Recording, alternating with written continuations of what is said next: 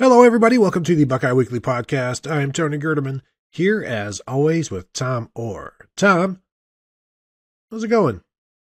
Well, Tony, we had not talked to any Ohio State players in what two and a half weeks, something like that. It was like uh, it'd be great to talk to some Ohio State players, and uh, well, Tony, Ohio State's SIDs made made our dreams come true. We got to do like talk to twenty Ohio State players. It was like a quarter of the roster, and uh, this was you know this was I said to you afterwards. This was like the parent who's like, oh yeah, yeah, you you, you want to smoke? All right, let's see let's see you smoke the pack, smoke the whole pack, and uh, you, oh yeah, you you guys want to do interviews? All right, that's fine. Why don't you interview like literally the whole team? And then we did and then we did, and it was it was two good hours of talking to a bunch of guys that we haven't, as you said, hadn't gotten to talk to, and you know, would it have been great to get somebody last week?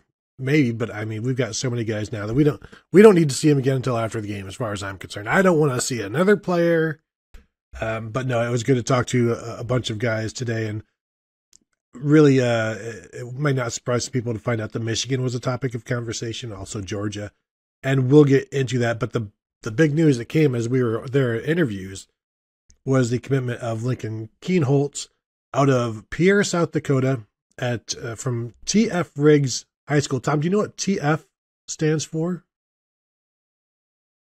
Uh, I have answers that would probably get us, uh, you know, so we can't monetize this video on YouTube, but I don't, uh, I don't know, Thomas Franklin. Mm, I believe it is Theodore Funkadelic. Um, mm, so he, mm. yeah, of the Parliament Funkadelics. I believe so. I believe that one and the same. Uh, as I said, out of Pierre, South Dakota, the number one player in South Dakota, the number 13 quarterback in a nation overall, number 14 actually, according to the 24 7 composite, the number 204 player overall in the 2023 class, previously committed to Washington, decommitted maybe today, and then also, I'm not sure exactly when he decommitted, but obviously committed on Wednesday. Tom, do you know, and I'm sure you do, there is precedence here for a Washington quarterback commit to eventually commit to Ohio State. And from your beaming smile, I realize, I know you just realized who that is. Tom, who is that? Well, Tony, uh, the hint that I will give the listeners is that this one is different because uh, this quarterback can uh, get you know get things off of the counter without having to uh, get the step ladder. Uh, but yes, the the uh, late great still alive Tathan Martell was a Washington quarterback commit, and then a where else was he? Texas A&M. Texas A&M, right? Yeah, Texas A&M. Yes. Um, and then Ohio State, and then Miami, and then UNLV. Uh, and so, yes, he is uh, Lincoln Kienholz, a little less well traveled than Tate Martell, but uh, is someone who, if you want to hear some, you know, a little bit more in depth uh, breakdown on this, I recorded a, an emergency episode of the Skull Session podcast with Mark Givler, since Mark Givler was at the at the interviews with us today. Uh, so I talked to him about that and kind of got got his thoughts on it. And you know, Kienholz is someone who is I think I think everyone with Ohio State quarterbacks at this point just sort of assumes, yeah, yeah, yeah, yeah, yeah. He's got a really strong arm and he's got a really good accurate touch. Yeah, yeah, yeah, yada yada yada. Okay, tell me, does he run? Will he run the ball? That's will he run the ball? That's the question. That that is the question. And the answer is yes, he is, you know, probably you know, not not a run first quarterback, but a willing runner and uh, someone who has run the ball quite a bit in uh, in his offense in high school. And then, of course, the next question is, um, so South Dakota, so this is like the same level of uh, competition you're playing in like South Florida, right? And the answer is yes, yes it is. Um, and then just in case you don't believe that, uh, you know, the the uh, yes, there there is. You know, I, I, think it's reasonable for people to wonder about the level of competition you're playing in South Dakota, even in the big, you know, big school division of South Dakota. The schools are not that big, and there's not that many people. But you know, he's someone who has, uh, you know, been been validated by a number of other programs and Washington's uh, coaching staff has done a pretty darn good job establishing a pretty good passing attack. So that's uh, that's some pretty good validation as well. If if the Washington coaching staff is saying you know thumbs up on that. Yeah, and further uh, comparisons to Tate Martell, the the running ability. Uh, Kienholz obviously is what like listed at like six three, yeah six three one eighty five. I believe rushed for about 1,400 yards this year, like 1,100 yards last year. As I said, he is the number 14 quarterback overall. When Tate Martell committed to Washington, he was a 14 year old quarterback overall. Uh, so again, some similarities there as well. You mentioned the size, the, the the small school aspect, whatever. He does live in the capital of South Dakota, so show some respect, please. And just to you know, sort of play out the uh, you know the the similarities between him and Tate Martell. Uh, Lincoln's secretary is named Tate, and Tate's secretary is named Lincoln. Not many people know that, but hmm, interesting. Um, I'm going to take back my part about the big city. Do you know the total population there in Pierre? You know, you started saying that, and I thought I should look that up, and then I didn't look that up on my phone. Uh, I'm going to guess the population of Pierre, South Dakota is 38,000 people. 14,000 people, Tom. That seems low. Wow. So, life in the big city. but um again, I think the the running aspect and we're kind of joking about it, but it is going to be I think something that Ohio State fans are certainly wanting to see. We saw that with Devin Brown as well, the 2022 signee, freshman, true freshman quarterback. I don't really remember seeing that much with Kyle McCord, although he's not in- incapable. But it is interesting how they've kind of gone and found somebody because I don't I don't know that Brock Glenn, who was formerly previously committed to Ohio State, decommitted a, a few weeks back because of this. Ohio State and Brock Glenn kind of mutually parted ways, knowing that expecting that this would happen. And I don't know that Glenn is the runner that Lincoln Kienholz is. I, I, I don't think he is. And so you get this another uh, this aspect of the offense going again, and I think for a lot of people, maybe me and you included, this has kind of been the one aspect of the offense that has been missing. Because you go back to Justin Fields' time, obviously they had that. They haven't had it in the last couple of years. They didn't have it in 2018, and you see how um, how much they've fallen short of perhaps their potential. It does feel like an element that has, you know, in the years where they have not had the running quarterback, that has coincided in a lot of cases with years where the running game has not necessarily been as consistent. And, you know, there are plenty of other factors that go into that and the offensive line and, you know, hey, are literally all of the running backs hurt? Like, you know, that that also goes into, you know, your success running the ball. But it does feel like there's there is some correlation there. And even if you are a running quarterback, a dual threat quarterback, you look at like a JJ McCarthy or, you know, a Stetson Bennett, you don't have to be able to run 18 times a game like JT Barrett did. You just have to be able to avoid the rush, present the you know the the threat of the run, and that that's often enough to accomplish what running the ball actually does. You know, JJ McCarthy, I think we we talked about this on our one of our bold prediction shows. I don't think he's run the ball more than six times in a game or more than seven times in a game all season. But the fact that he's got that ability, the defense has to respect it, and you end up getting the same result. Ohio State now stands at 20 commits for the 2023 class. That is the number four class nationally, according to 24 7. Still waiting to get maybe one more defensive end. It looks like others are maybe two more defensive ends. We'll see where Mateo Uiagalelei, Uiagalelei ends up, and they've got uh, other guys that that are um, they're waiting on as well. But they've got their quarterback. That's one that they needed. They want to bring in one every year, and so that now is done. Tom, anything else on the Kienholz before we move to TreVeyon Henderson? Let's move to TreVeyon Henderson. Tom, let's move to TreVeyon Henderson. Uh, came out on Tuesday and said that he's done for the season.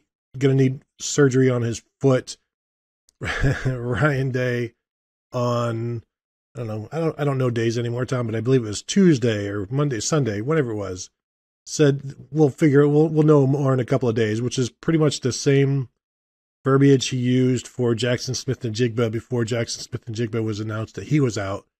And so once Day said that, I know you and others were like, "Well, that means TreVeyon's out." I'm like, I don't know. I didn't really take it that way. You know, I I think there's you know, we'll find out in a couple of days, and then I don't know, a few hours later, TreVeyon t- tweets that he's he's not going to play the rest of the season, and so they'll be without him. We did talk to Miyan Williams today. I don't know exactly what he said about how his health will be. I assume he said he'll be 100%, but not having TreVeyon Henderson, I obviously you would like to have him. I don't I don't know how much things change by not having him though.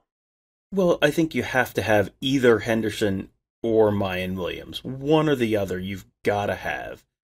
And yeah, I was also not at the Miyan Williams table, so I have no idea what Miyan Williams said, but I will I'm going to treat Miyan Williams the same way I treated Mike Hall, which was, "Oh, he's coming out for interviews. I guess he's playing and there's not any question whether he's going to play because he's going to get asked whether he's going to play and then he's going to have to, you know, answer I'm not sure, maybe Mike Hall is 100%, well, as close to 100% as you're going to be this time of year, essentially. I, I am going to assume that Miyan Williams is in that same boat because he did not, you know, Williams, with Williams, it was not like a long term injury. It was, he got rolled up on with his ankle and it looked like a high ankle sprain. And that's the kind of thing that tends to be somewhere in that three to five ish weeks kind of range. And by the time the Peach Bowl rolls around, he should be close to 100% if that is if that is all the things that uh, you know, if, if all of the reckless assumptions that I just made right there are all accurate, then yes, he should be uh, good to go for the Peach Bowl. The uh, the reason I say I don't think it changes much is because they've been without him for three of the last four games, and one game he did play, he was not effective, and that was what Maryland or I think Maryland. Then when they had to put Dallan Hayden in, and he went for 100 50 odd yards in the second half. So not having him isn't anything new for them. They've basically been without him the last four games, and they'll just continue on.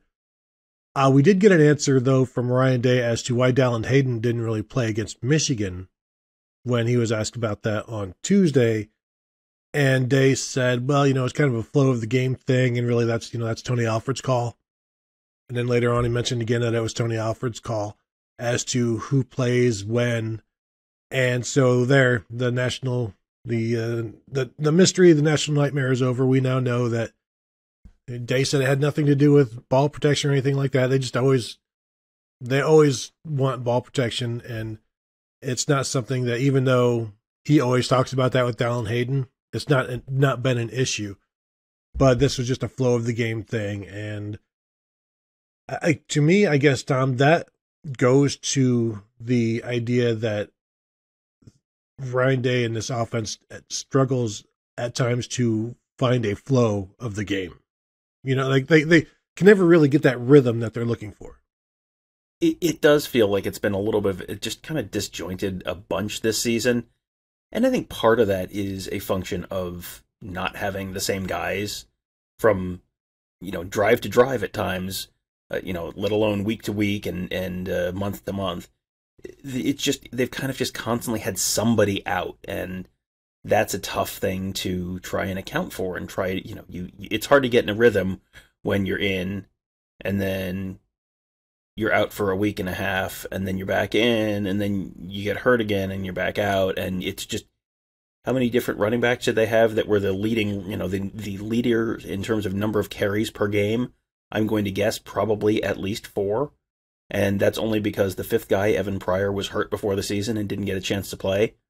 But that you know, so so I think part of it is that, and you know, I mean, we've talked a bunch about the, uh, you know, the play calling and and my thought that trying to have Ryan Day trying to call plays and also do the game management has led to Ryan Day not being particularly you know not not doing the very best work he possibly could be doing in terms of both play calling and uh, game management. You you end up just kind of doing both things at about a B level instead of being able to do one of the things at an A plus level and delegating the other one to someone else.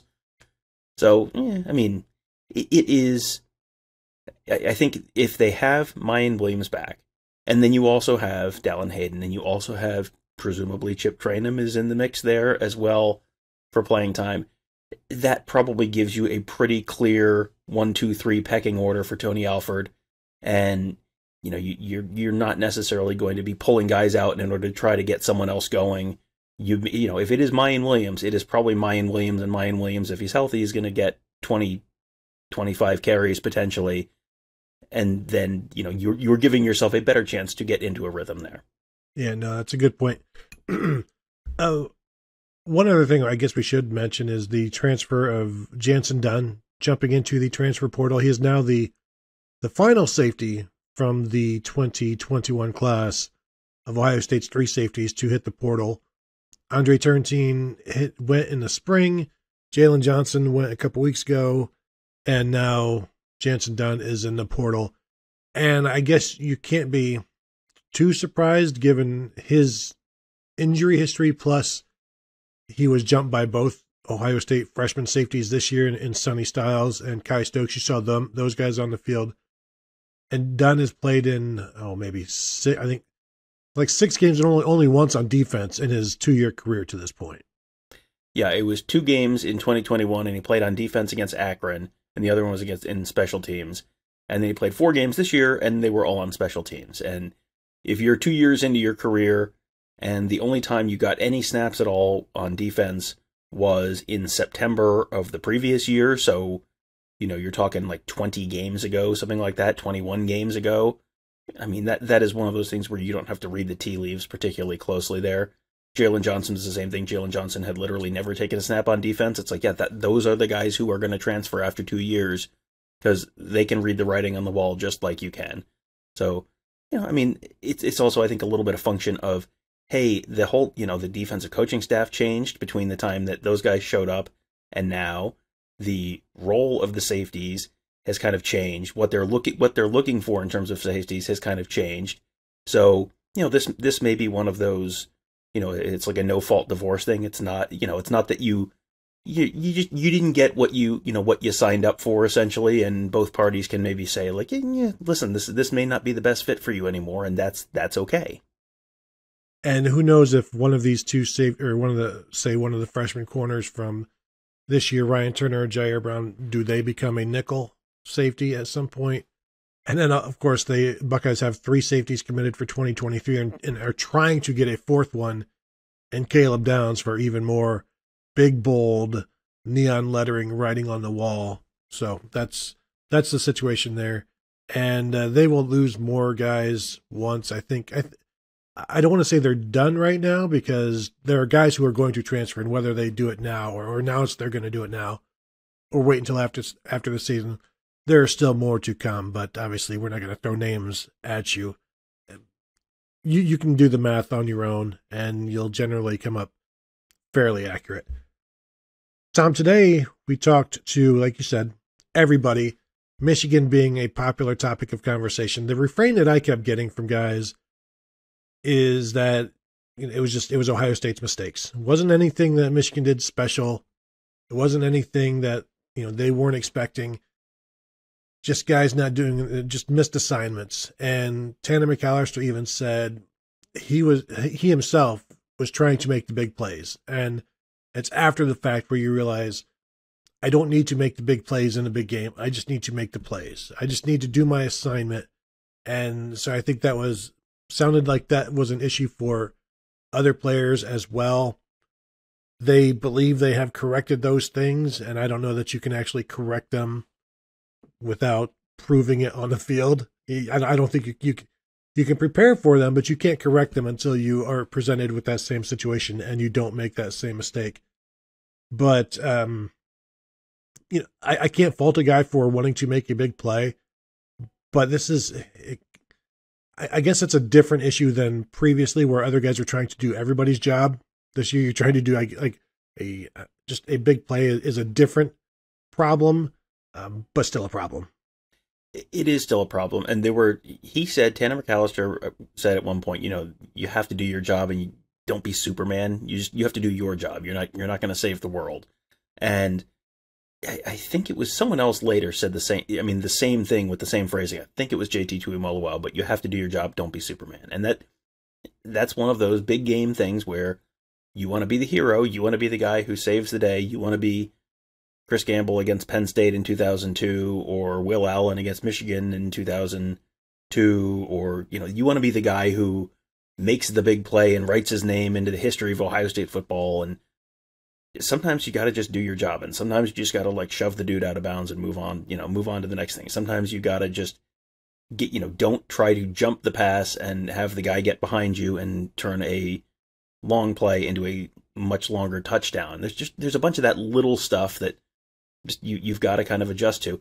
One thing that was interesting to me was uh, it was Jordan Hancock who said they the day after the Michigan game, the Sunday after the Michigan game, they all went in, they watched the film, and they watched specifically the five big plays that Michigan had, and looked at them, learned from them, went out on the field, and then executed the plays. And you know, so it was it was a you know we hear Jim Knowles talk all the time about you know taking it taking it from the film room to the field. They quite literally took it from the film room to the field that was the day after the game.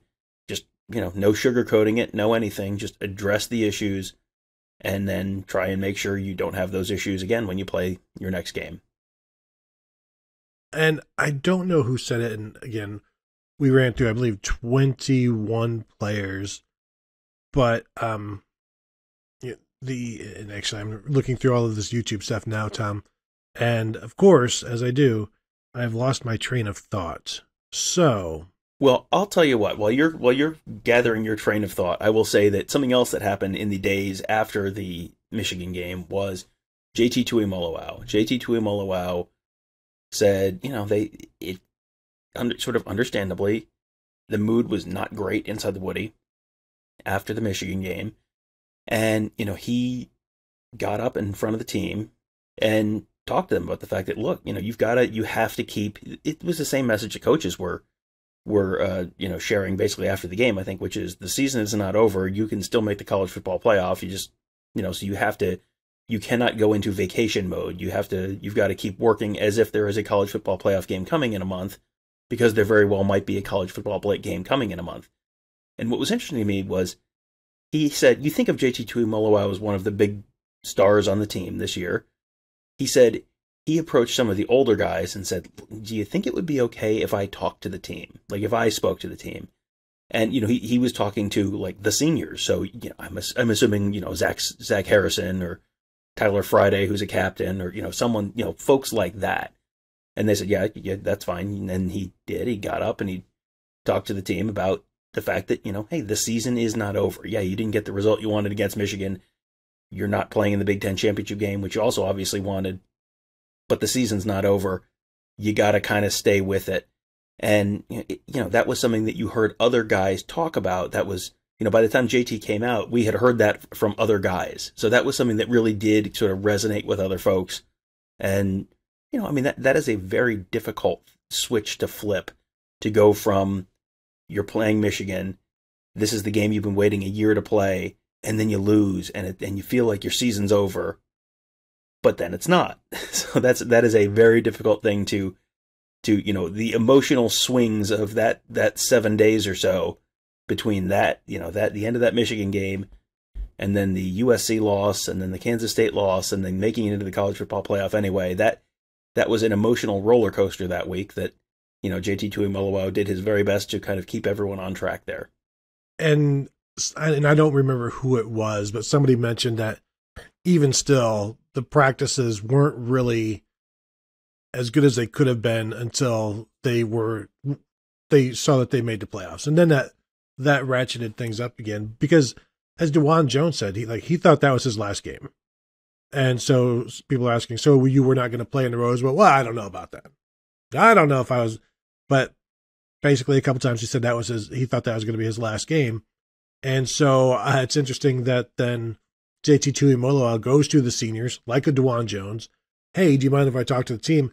Yeah, go ahead. I'm not playing again. You know, you know it's like I, I don't know how many seniors were going to opt out, but obviously there were going to be some juniors as well. And so, yeah, if you want to talk to the team, go ahead. That sort of thing. But I think uh, also that's a good sign for next year because I think they need more of that. And what we've talked about before the show at lunch today, you look at who the captains are on this team, the defensive captains specifically, and if they don't play and they're not a, a vital portion of the on field defense, what what kind of leadership are you getting there? So to have a guy like JT Tuimoloau already projecting that when he's going to be a junior, pre- presumably his last year next year, and you'll have a vocal leader there, I think that will help. But you know, other guys were impacted by what JT said, and and that that helped them kind of snap out of it a little bit. And so, um, you know, it, it's interesting, interesting that Ryan Day talks to him, and it's like, well, you know, we'll just kind of not that they're going through the motions. I do think probably some were.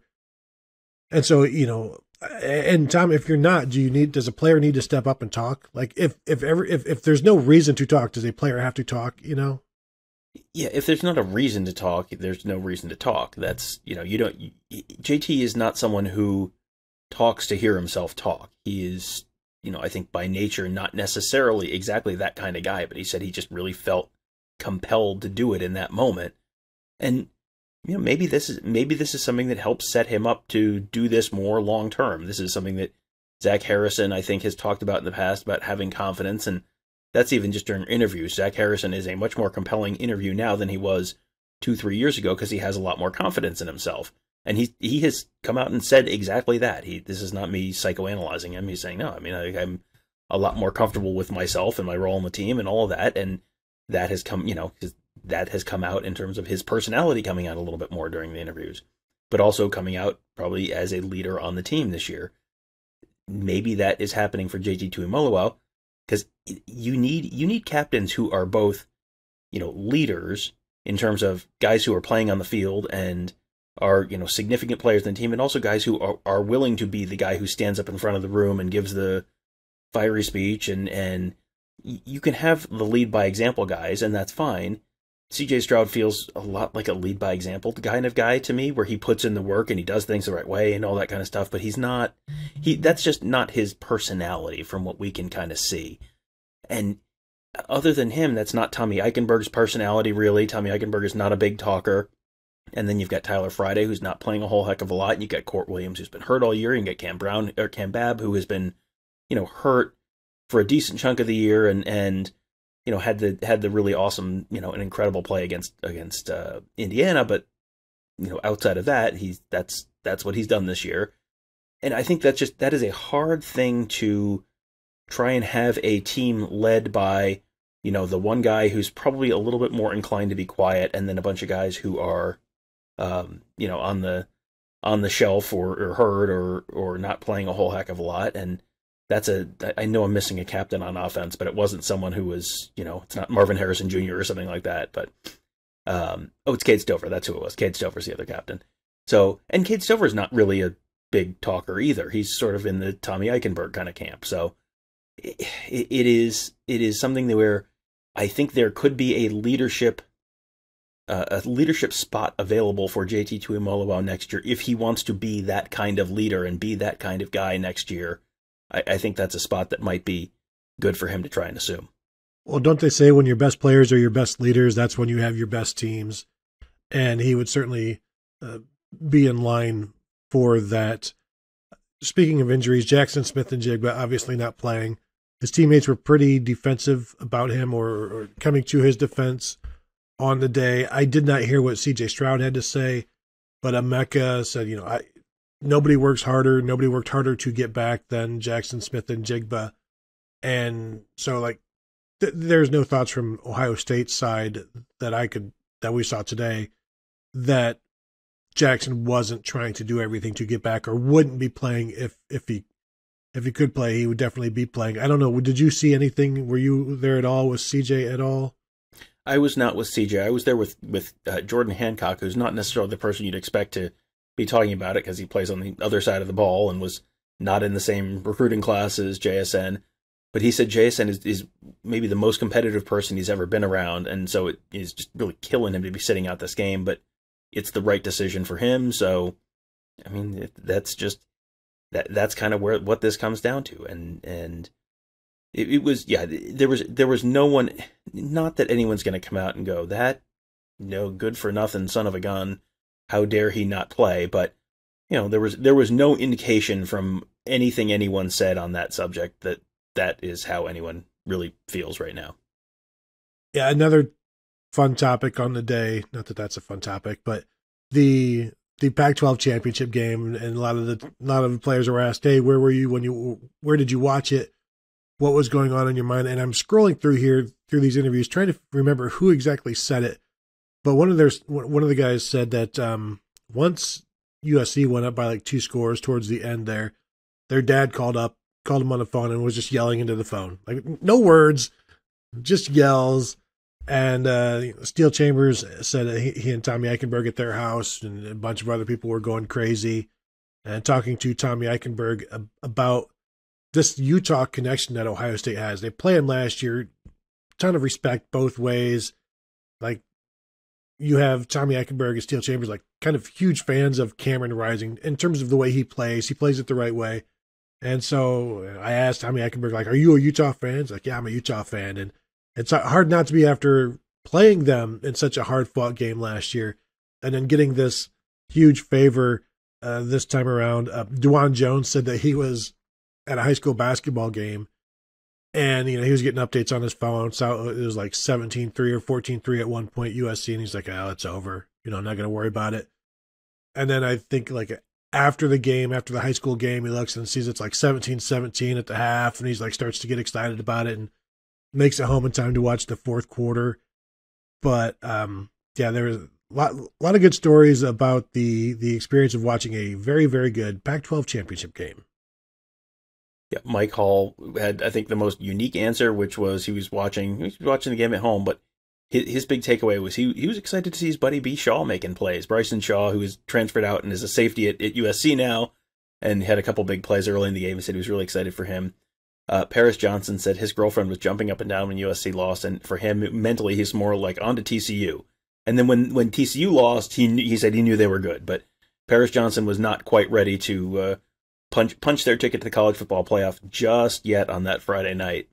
Um, I thought Cade Stover. I don't think I, don't, I wasn't there if Cade Stover was asked about that, but he uh, well he would have he would have been there with uh, Tommy and Steele. So his uh, he was that that's where that that's probably where Cade Stover was that night. Um, Cade Stover I thought had an interesting uh, an interesting line. He said nobody writes a book without adversity in it, and you know that's what that's sort of how he's viewing the loss to Michigan right now. Is yeah, it didn't go the way they wanted it to, but they are still exactly where they would have been had they won that game, which is two wins away from the national championship, which is the ultimate goal. And you know, you're not. no one is going to have a complete smooth sailing uh, roll to the national championship. You know, think back to Ohio State's previous national championship teams. They have all faced adversity at some point. You know, 2014 lost to Virginia Tech, barely made it in, and uh, you know, was down 21 to 6 to Alabama in the uh, in the Sugar Bowl and was down 7 nothing to Oregon in the national championship game. 2002, that whole season was they were undefeated, but that whole season like nothing was easy that year. So, uh, even 1968, O.J. Simpson takes a what 80 yard touchdown right down the field to start that game in the Rose Bowl uh, in the national championship. I mean that that's that's just how it is. You are going to have to come back. You're going to have to overcome, and that's that's sort of where they're where at least Cade Stover is looking at it right now. Cade Stover last year after the Rose Bowl said, uh, "If you never have a bad day, you don't know what a good day looks like." And so that's uh, kind of in line. I wonder, does he get these things from like the Farmer's Almanac? Is there old, Brother, old Richard's Almanac? Is that where you just have some of these these farmer sayings that they have, perhaps a one a day calendar, uh, what what what whatever you might have there, but um the uh yeah so uh, obviously they enjoyed watching that utah game and then everybody came into the facility on sunday to watch the reveal. They all felt pretty good about it but obviously that delay from three to four felt like a while as as they revealed three and we were doing the live show and it's like what is taking so long? How can you what what uh, drama is being manufactured here? But uh, they all felt pretty confident especially as you said both teams losing I think everybody believed they were in at that point, and of course they were. The Bryson Shaw thing, Steele Chambers talked about that because they said it was it was really odd. They were really torn because Bryson Shaw was single handedly keeping them them out of it, keeping Ohio State out of it. But that's their boy, and so they're they're exciting. Uh, they were excited for him, but they, then they said he said they were also cussing him out. Basically, like every time he would do something, it's you know blank blank you, and uh, eventually, obviously, Utah took over, but it's uh, a funny, interesting like bit of you're you're pulled in two directions there, and I guess you got you get to be happy for Bryson Shaw as a former teammate, but then also happy for yourself that Bryson Shaw only did so much in that game. But anything else, Tom? uh, I thought there were a couple guys who just had sort of interesting perspectives on things. Uh, one was uh, Paris Johnson, who was just named an All American, first team All American, and he said he his goal coming in he was he wanted to be a captain or or an All American because he wanted to be able to come back to the Woody or whatever replaces the Woody at, at the time that Paris Johnson has grandkids and show his grandkids, you know, hey, look, back in the day, I used to play ball here and have your picture on the wall with the other All Americans or with the other captains or whatever it is. So yeah, I thought that was, you know, that, that was a uh, the type of perspective you don't typically hear guys uh, in college, guys who are 21 years old, talking about, you know, looking looking forward to what they're going to be doing with their grandkids. I thought that was an interesting one. And Zach Harrison, Zach Harrison has sort of a unique perspective on everything with Ohio State, having grown up really local and being, you know, growing up essentially just outside of Columbus. And he said, you know, he he remembers the 2014 national championship very clearly. And he said, what's interesting is those guys, when the 2014 guys come into the facility, they get treated like royalty because they they did it. They reached the ultimate goal.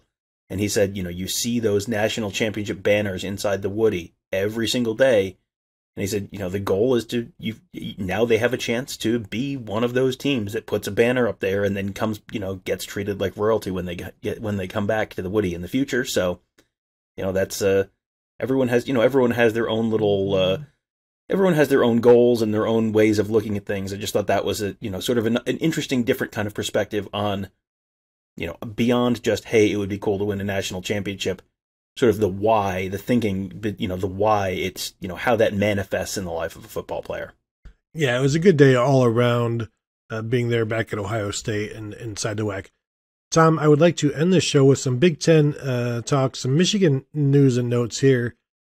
Did you see where Erick All just ended up? As you check your phone, don't look. I, I did not. I was uh, looking, a group text was blowing up, uh, and that was uh, nothing related to Erick All, unsurprisingly.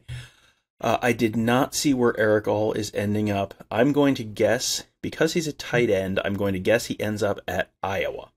That is correct, with his old buddy, Cade McNamara. uh, citing, uh, here's the quote from his tweet uh, Boy, it is great to be a Hawkeye. Can't wait to be in Iowa City playing the game we all love. Excited to join the swarm at Iowa Swarm as well. You guys should join with me, iowaswarm.com. That is NIL, that is Iowa's NIL collective. Um, so good to see Iowa putting their NIL collective to some good use. A very talented player in Erick All. Uh, certainly room for more than one tight end there. They also have, of course, um, uh, Luke Lachey and uh, probably 16 others that were once former quarterbacks that outgrew the position or you know whatever. They they manufactured them one way or another. So good to see some big ten money being spent. So uh, tom anything else before we get out of here? Uh no. I mean there's plenty more but we can uh, I, I, have a feeling this will not be the final podcast we do before the peach bowl. So there's probably time to talk about more of this stuff next time yeah and of course we, like, like we told you guys we still have some listener questions episodes we got a couple of uh georgia games yet to watch We'll get to those as well. So I want to thank you all for joining us. As always, continue to find us at buckeyehuddle.com. Become a member, say hello to us there on the message board. And also um, buck, uh, youtube.com slash Buckeye Huddle. Also, if you'd like to subscribe to Buckeye Huddle's newest YouTube channel, it is uh, it's called CFB Playbook, and you can find it. I believe the actual maybe the the YouTube URL right now is youtube.com slash at CFB Playbook if you try that, or if you just see, search uh, CFB Playbook, you should be able to find us there. So please subscribe to that one as well. It's going to be a, a college football uh, channel, uh, you know, uh, nationwide. Basically, it's going to cover the entire realm of college football, you know, X's and O's, and you know, all, all sorts of different stuff. We've got a bunch of plans there for that as well. So please check that out. Subscribe there, and also, of course, subscribe to this channel here youtube.com slash Huddle. So thank you all for joining us, and we will talk to you guys later.